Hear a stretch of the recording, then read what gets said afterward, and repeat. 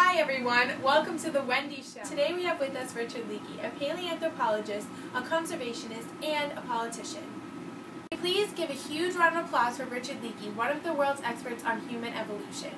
Hi. Hello. Tell us a little about yourself. Well, I was born in December of 1944, the 19th, and um, as a kid I followed my parents around archaeological digs while they were searching for fossils. Um, I that's how I mostly got involved into being what I am today. Um, I'm now heavily involved in politics and um, excavating fossils. That's very interesting. You had a very rough childhood. Well, when I was 11, um, I used to actually really love riding horses, and I fell off of my horse and fractured my skull. It was almost fatal, but luckily, I'm here today. I survived. And um, me and my dad never got along very well. Um, I also dropped out of school at the age of 16 because I had no interest in it. Um, I was terrorized as a little kid because of my political views and some of my opinions. That's terrible. At a very young age, you became an entrepreneur. Tell me more about that.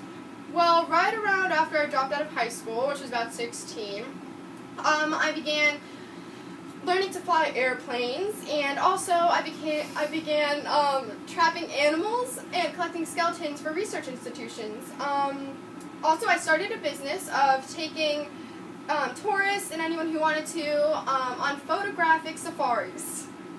Tell us more about your finding of the oldest Homo sapiens in your time period. Well, my father sent me off to the Omo River one year, and me and a bunch of archaeologists and um, just some um, friends and people who are interested decided to go with me. And um, when we were there, we accidentally stumbled upon a um, fossil. And so we looked more into the fossil and found out that it was a, um, a fossil of a human. And it happened to be the oldest Homo sapien of the time, at its time. And it was about 160,000 years old. Wow. Yes, and um, from then on, the National Geographic Society started sponsoring and funding my um, digs and my um, adventures. And yeah. That's very interesting. I received $25,000 to work on the Koobi Fora um, site. And that was probably one of my biggest sites that I worked on at the time. A big accomplishment happened for you in 1968. Please explain. In 1968, I was about 25. I was appointed as director of the National Museum of Kenya. Very tragic information came your way within a year. Please tell me what happened. Well, um, some tragic news hit me.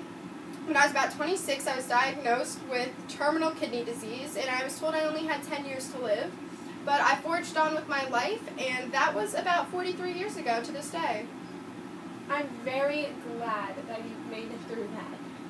Tell us about what happened in 1993. In 1993, I was flying my plane. As I said, I really loved flying my plane, or I do to this day. And um, I was flying it, and it malfunctioned and crashed. Um, I ended up losing my legs from my kneecap down, but I still kept pursuing my dreams. Amazing. Tell us about your wife, Margaret Cropper. Well, I met Margaret Cropper um, at an archaeologic um, site in Lake Natron.